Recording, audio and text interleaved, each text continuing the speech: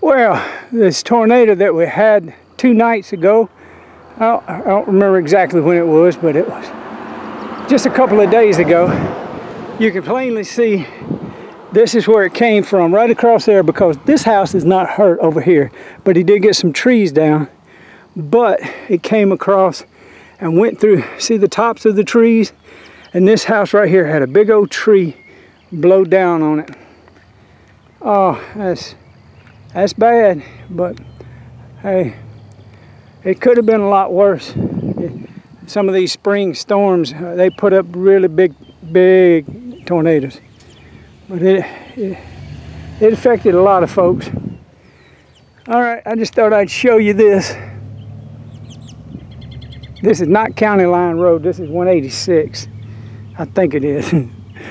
I ought to know by now. All right.